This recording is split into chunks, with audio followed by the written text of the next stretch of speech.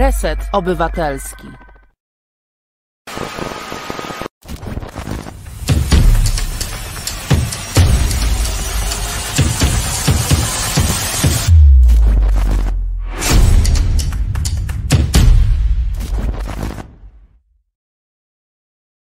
Dobry wieczór, Jarosław Szczepański w codzienniku obywatelskim, rzecz jasna można powiedzieć, czyli Resetu. E, dziś e, uważam, że jedną z ważniejszych rzeczy jest e, wywiad, opublikowany wywiad Donalda Tuska, nie tylko w, polskim, w polskiej gazecie, ale w wielu gazetach europejskich, szwajcarskiej, belgijskiej, w hiszpańskim El País. Ważne słowa to to, że nie straszenie, ale zwracanie uwagi na to, że jesteśmy w sytuacji, w której możemy być przed, w przededniu wojny.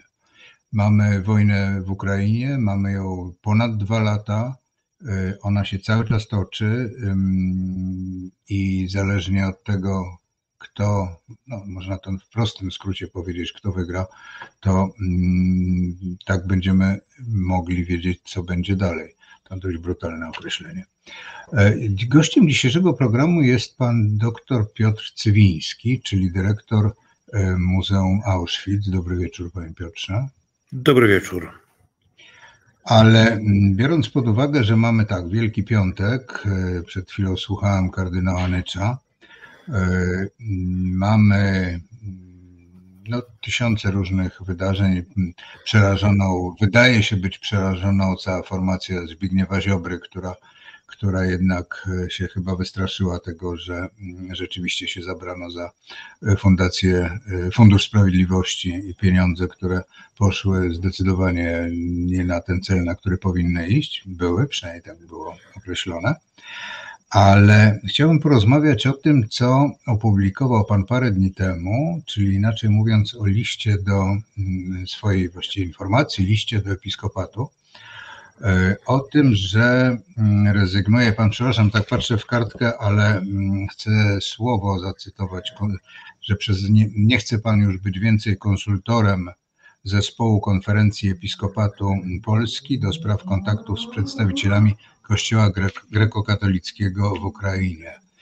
E, to jest, wydaje mi się, mm, może decyzja y, sama w sobie jest decyzją, natomiast istotne jest to, że powołuje się Pan na to, że przez dwa lata, ponad dwa lata od wybuchu wojny w Ukrainie, e, ten zespół się w ogóle nie zebrał, czyli nie funkcjonuje.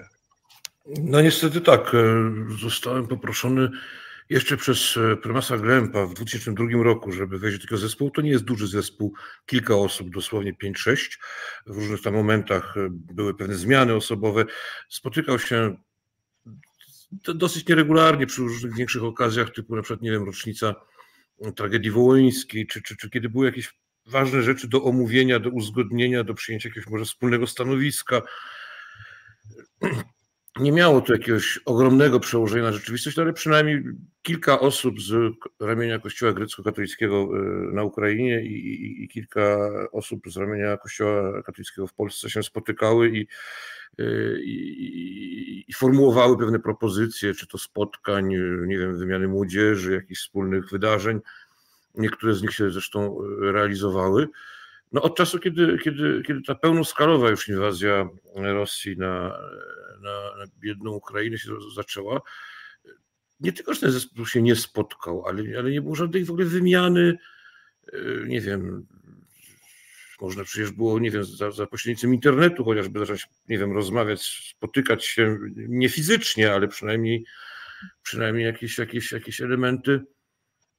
No, nie ja wiem, sobie wyobrażam, że, że powinny padać jakieś e, ze strony, no ze strony polskiego episkopatu w tym wypadku, e, zapytania o tym, jak pomóc, co pomóc, co można zrobić. Ależ dokładnie, co można zrobić, ale przynajmniej jakieś słowa, nie wiem, solidarności, jakieś takie no zupełnie podstawowe rzeczy. Wydaje mi się, że jeśli ten zespół jest do spraw rozmów z Kościołem grecko-katolickim na Ukrainie, czyli z, no, z dużym gronem katolików obrządku wschodniego, przecież podległych tak samo jak, jak i my e, Watykanowi i papieżowi, no to, to po prostu kompletnie nie rozumiem tego, co się dzieje. Nawet odbyłem już pewien czas temu jakoś jedną rozmowę z ówczesnym przewodniczącym tego zespołu słyszałem, że jeśli mam jakieś propozycje, co by zrobić, no to, to, to, to żebym je sformułował. I to był jedyny kontakt z mojej strony, y, to, to było wyjście. I to, był, to była jedyna, jedyna kwestia. No potem czekałem, czekałem, czekałem i w pewnym momencie już, już, już po prostu straciłem tą nadzieję i stwierdziłem, że no jeśli to jest tak daleko idąca fikcja, to, to po prostu no nie może tego firmować w żaden sposób. Ja przechodziłem parę dni, parę dni temu miodową, e, co jest może mało istotne, ale istotne jest to, że przechodziłem koło bardzo ważnego kościoła e, właśnie grekokatolickiego w Warszawie e, i tam widziałem po prostu i w kościele, i przed kościołem naprawdę dużą grupę ludzi, którzy, którzy tam byli, czekali, nie wiem, czy na nabożeństwo, czy na, czy na, na, na, na innych ludzi, którzy na przykład przyjadą y, z jakąś informacjami o pracy, ale, ale w każdym razie to funkcjonuje i wiem, że wiem, że jest y, grekokatolików ukraińskich w Polsce w tej chwili no, ogromne rzesze, no bo oni są głównie Ukraińcy wyznania grekokatolickiego. No, y, Zawsze była w Polsce niewielka grupa grekokatolików, e, Polaków przesiedlonych w ramach akcji Wisła czy, czy, czy różnych innych. Natomiast w tej chwili to, to, to grono się zwiększyło no wielo, wielokrotnie. I, I, wydaje mi się, że nawet z samej, z samej tej racji, e, nawet nie mówiąc o jakichś e, dialogach transgranicznych, no z samej tej racji, ja, ja, ja, jak objąć opieką jakąś, wsparciem, nie wiem, pomocą, te grupy, które przyjechały do Polski, te, te, te nowe, te wojenne, uchodźcze, tematów no byłoby mnóstwo do, rozmów, do, do, do rozmów ale, ale tak, jak, tak jak powiedziałem, no przez te dwa lata tego konfliktu ten zespół się nie zebrał ani razu. Ja tylko jako ciekawostkę jeszcze mogę dodać, że ten kościół grekokatolicki w Warszawie e, na Miodowej e, ulicy jest położony dokładnie naprzeciwko siedziby Episkopatu Polski. W związku z czym... Naprzeciwko, naprzeciwko e, siedziby metropolity warszawskiego księdza kardynała Nycza. Tak, to prawda. Tak, tak, tak. Ja, ja, pamiętam e, największą dyskusję na temat w ogóle greko, kościoła grekokatolickiego w Polsce. Pewnie większość naszych e, wideosłuchaczy tego nie pamięta w 91, 1991 roku e, było, mm, papież Jan Paweł II zdecydował o oddaniu jednego z kościołów przemyskich, dawnego kościoła grekokatolickiego, grekokatolikom. I e, wtedy mm, wierni kościoła katolickiego e, blokowali oddanie, zrobili tam wielki strajk, siedzieli, to trwało, no, trwało wiele tygodni, zdaje się, o ile dobrze pamiętam cała ta historia. No, tego typu animozje e, e, właśnie tutaj graniczne czy pogranicza wybuchały prawie zawsze w takich momentach, kiedy było jakieś, nie wiem, ważne zbliżenie między Warszawą a Kijowem, e, kiedy na przykład, nie wiem, ówczesny prezydent Polski jechał do Kijowa, albo kiedy coś się działo, co jakoś Kijów i Warszawę mocno łączyło, to wówczas na ogół wynikały e, awantury na pograniczu, czy to właśnie o, o jakiś kościół, czy jakiś pomnik, czy, czy, czy jakąś kaplicę. E, to było dosyć symptomatyczne i to trwało w zasadzie no, praktycznie przez całe lata 90. Później się trochę uspokoiło. Czy, czy to jest e, przejaw, znaczy to milczenie Episkopatu Polski, czy to jest przejaw według Pana Mm, braku zainteresowania, czy, czy po prostu, no właśnie, czego to może być przejaw? Nie wiem, no bo ex jest trudno wyciągać wnioski. Znaczy, gdyby, gdyby, gdyby padły jakieś, jakieś zdecydowane, nie wiem, słowa, stwierdzenia, czyny jakieś byłyby dokonane, no to można byłoby je poddać analizie. Czy kierunek dobry, czy słowa właściwe. E, no, no, no, ex silencio naprawdę, no, historyk nie potrafi tak naprawdę dobrze e, wyciągać wniosków ex silencio. No tak, to to jest najtrudniejsze, bo, bo jak nie wiemy nic, to, to, to trudno o czymś dyskutować z kolei. Czy jest jakaś odpowiedź na ten pański list, na te słowa? Nie, do dziś nie doczekam, ale ja się wcale nie spieszę. Ja chciałem to wysłać i to jest moja decyzja osobista, aby po prostu no, przestać uczestniczyć w czymś, co, co, co, co jest po prostu no, zupełną, kompletną, totalną fikcją, mm, którą uważam za moralnie niedopuszczalną w tych czasach, ale jesteśmy w Wielki Tydzień, Wielkanoc. To, to, to myślę, że, że, że, że różni ważni e, mają inne w tej chwili obowiązki, czy może o czymś innym myślą. Może później się po, po okresie świątecznym ktoś odezwie. E, a co, co moglibyśmy robić? Co należałoby robić w takiej sytuacji? Co taka, e, nie chcę tu stawiać Pana w sytuacji osoby, która ma mm, napisać e, czy zarekomendować plan działania takiej komisji, ale co, co powinno się dziać? Czego no, moglibyśmy oczekiwać? No, po pierwsze spotkać się, czy to online, czy, czy, czy fizycznie. E, jest to możliwe. No, we wrześniu byłem w Kijowie, więc to, to nie są rzeczy e, niewykonalne, żeby nawet w tym czasie wojny podróżować. Można by się spotkać gdzieś na granicy również. I wydaje mi się, że są, są dwa elementy, które są fundamentalne. Po pierwsze, wysłuchać najpierw tych napadniętych, tych, tych, tych mordowanych, tych, tych, tych kopanych po prostu przez Kreml, e, wysłuchać, e, jakie są ich potrzeby, jakie są ich, no, no bo to oni potrzebują w tej chwili tak naprawdę, więc najpierw ich wysłuchać, a później zastanowić się właśnie nad tą dużą grupą e, ukraińskich grekokatolików, którzy są w tej chwili w Polsce. Zakładam, że jeden kościół ojców bazylianów tu w Warszawie na pewno nie wystarcza. E, zakładam, że, że, że różne inne formy pomocy są możliwe, e, ale to znaczy nikt nie wie, czy ta sytuacja będzie trwała długo, czy nie. No, już dwa lata ponad i nic się Tak, tak, ale, w wielkich, wielkich skupiskach e, Polonii za granicą, e, skupiskach stałych e, po, po emigracjach w różnych momentach, no powstawały przykład misje katolickie polskie z pomocą tamtego również kościoła z, z tamtych miejsc. No tutaj może trudno tworzyć coś, coś stałego, bo wszyscy tak mamy nadzieję, że to szaleństwo się skończy, ale, ale zakładam, że, że jakaś pomoc kościelna, ściśle eklezjalna, dla tej mniejszości e, grekokatolików e, ukraińskich dzisiaj w Polsce tak, tak, tak licznej, no, no, no mo, można by nad tym też się zastanawiać. Przydałby się chyba taki, taki gest, albo przynajmniej takie słowa. No wprawdzie zawsze można powiedzieć, że teraz nie są święta, chociaż nie, grekokatolicy przechodzą na święta. Tak, te, te kalendarze się, się unifikują faktycznie. E, natomiast e, no, święta świętami, no, dwa lata, one nie trwają te święta tak. dwa lata. Mhm. Nie, nie, tak tylko mówię o, o tym momencie, w jakim rozmawiamy z kolei. E, czy jak pan ocenia, mm, jeśli pan chce oceniać, nazwanie lotniska, mm, aktualnie najważniejszego lotniska chyba w Polsce, czyli Jasionki Podrzeszowskiej, która od niedzieli nosi nazwę, mm, właściwie imię rodziny Ulmów? No, w tradycji polskiej jest nazywanie lotnisk imionami, nazwiskami ludzi. No, to nie jest coś, co jest konieczne. W różnych krajach świata jest to, jest to różnie e, oceniane. Nie znam kulisów tej dyskusji, czy były jakieś rozmowy lokalne na nasze województwa, no, no bo to, to, to, to, to powinno zapadać jakby w, w, w jakimś dialogu społecznym. Mi się wydaje, że jest to jakaś propozycja.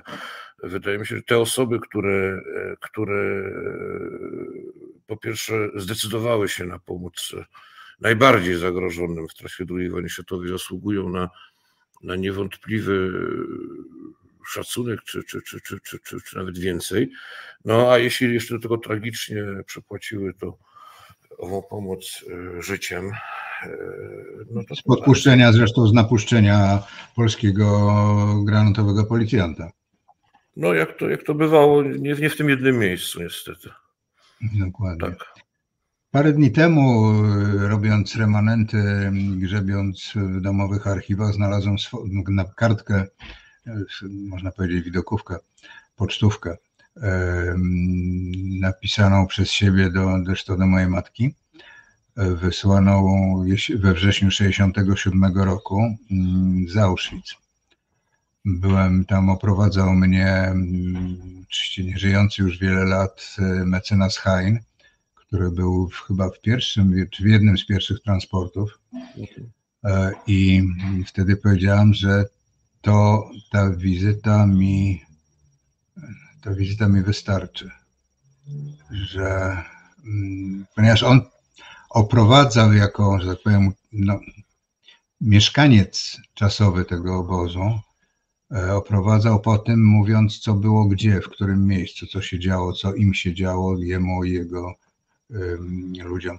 Jak dzisiaj reagują, mm, ja wtedy też miałem 17 lat, e, jak wtedy dzisiaj reagują młodzi ludzie na mm, wizytę w Auschwitz?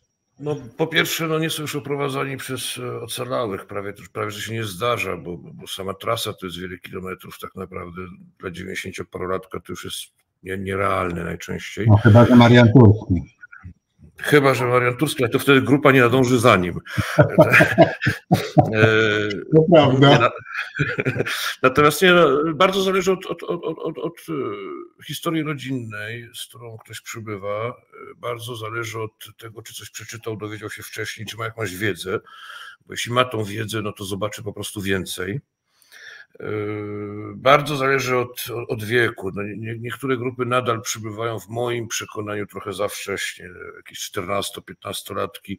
To, to, to, to, to jeszcze nie jest moment, kiedy człowiek czuje pełną odpowiedzialność za samego siebie i ma naprawdę dobrze rozbudowaną wyobraźnię śmierci. To, to troszeczkę później przychodzi. To jest jak w Minecrafcie czy w jakimś innym czymś. Trochę odradzałbym pośpiech dla, dla, dla tak wczesnych grup. Mm, natomiast y, reakcje są bardzo różne. Zdarzają się, zdarzają się reakcje i histeryczne, i zdarzają się nerwowe, bardzo, bardzo dziwnie wyglądające wybuchy, na przykład śmiechu, czy, czy, czy jakieś odreagowywania, które no, pracując tam już prawie 18 lat wiemy dobrze, że to też są reakcje wcale nie komiczne, tylko że to są reakcje po prostu nerwowe. Historyczne. Myślę, tak. Tak, myślę, że dlatego też bardzo ważne jest pewne przygotowanie nauczyciela, który no nie jedzie do, e, nie wiem, do, do, do, do, do, do aquaparku z tą grupą, czy do, do, do innej jakiejś tam landii, tylko, tylko ten nauczyciel no, będzie jednak musiał po powrocie wykonać jeszcze pewną robotę z tą grupą. To nie jest tak, że im się to pokaże i to wystarczy.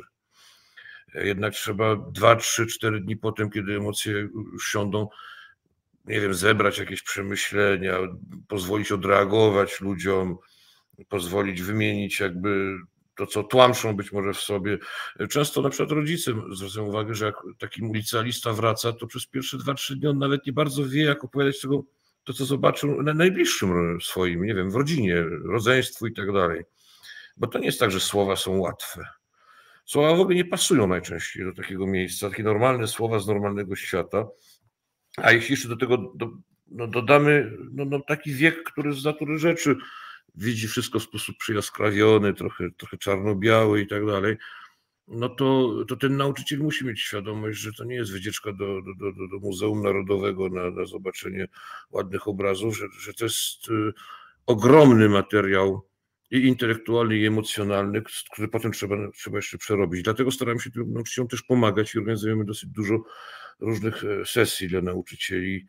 E, w internecie udostępniamy materiały przygotowawcze bądź materiały do wykorzystania po wizycie. Wydaje mi się, że sama wizyta jest pewnym momentem kulminacyjnym, ale na pewno nie początkiem i końcem. Czy nauczyciele w ogóle są zainteresowani? To, to pewnie trudno uogólniać. E, tak, znaczy, oczywiście, że tak. Znaczy, myślę, że nauczycieli to jest ogromna grupa ludzi i zawsze są bardziej zainteresowani, bardziej przygotowani, bardziej aktywni. E, zależy też od, od krajów, bo to nie, nie mówię tylko o polskich nauczycielach oczywiście. Tak. Mm, zależy od programów e, szkolnych. Na ogół zagłada i obozy koncentracyjne pojawiają się prawie wyłącznie w lekcjach historii. E, czasami, na przykład w Polsce na języku polskim, jakiegoś Borowskiego przeczytają czy kogoś innego, czy Zofię Posmysz na przykład. Natomiast e, tak, trochę, z medalionami. Trochę, Trochę też. Natomiast problemem jest to, że, że, że, nie, ta, ta kwestia jakby no, tego najgłębszego bólu antropologicznego, tego najgorszego, najciemniejszego doświadczenia Europy nie pojawia się na bardzo wielu innych lekcjach. Myślę o etyce, myślę o religii, myślę o naukach społecznych, o dziennikarstwie, o, o, o, nie wiem, naukach jakichś, nie wiem, jakiejś politologii czy elementów życia w obywatelstwie.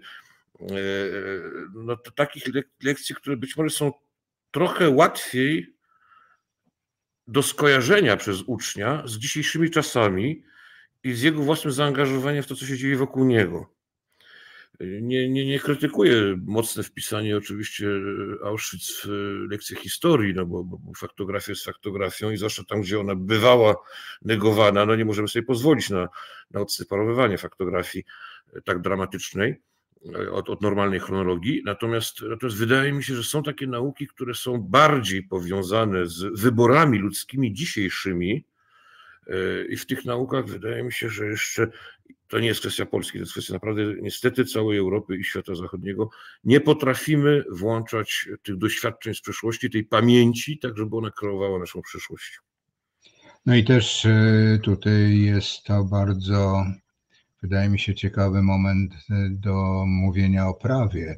Prawie funkcjonującym oficjalnie no, w Niemczech hitlerowskich, e, przestrzeganiu prawa tamtego i przestrzeganiu prawa gdziekolwiek bądź, jakiegokolwiek bądź i gdzie jest granica e, powiedzenia, w którym momencie można powiedzieć nie.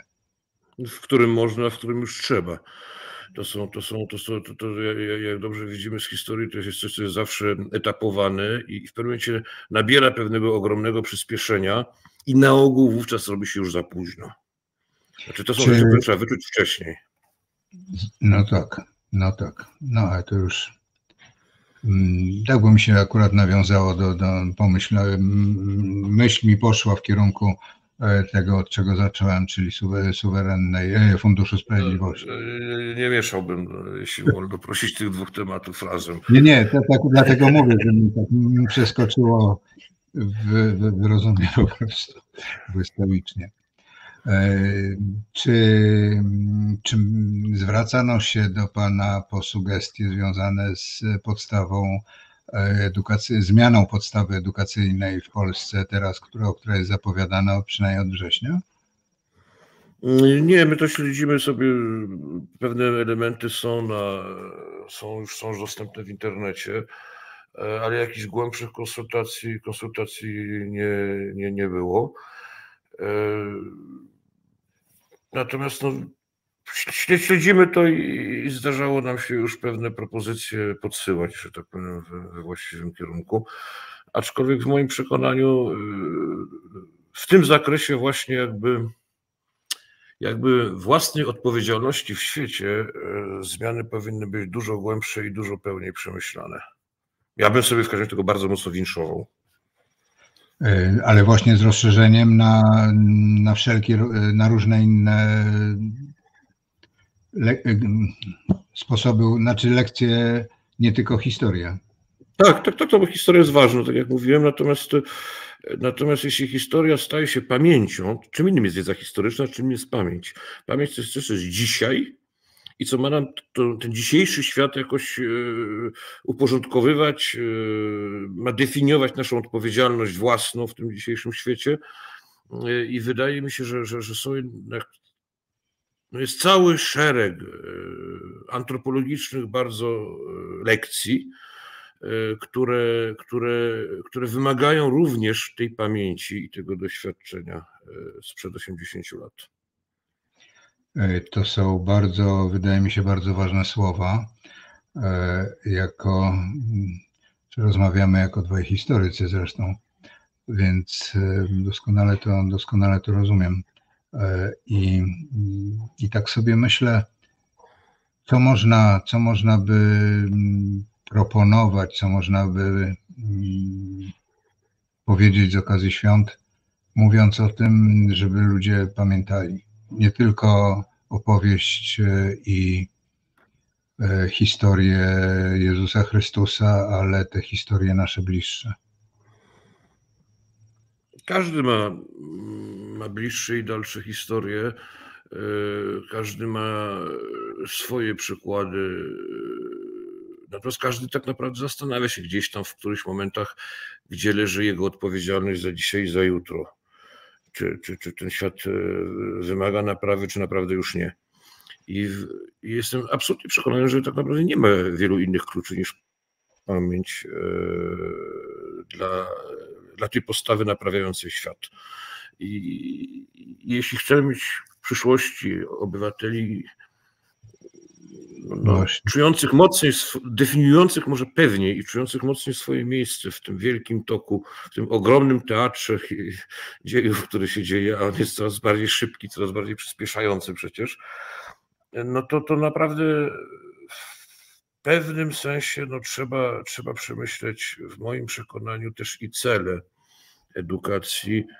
Yy, no bo swojej własnej odpowiedzialności z, z wiedzy encyklopedycznej się nie wyniesie yy, w żaden sposób, to sobie powiedzmy jasno. A szczególnie z wiki, wiki, wiki, wikipedystycznej czy, czy internetowej.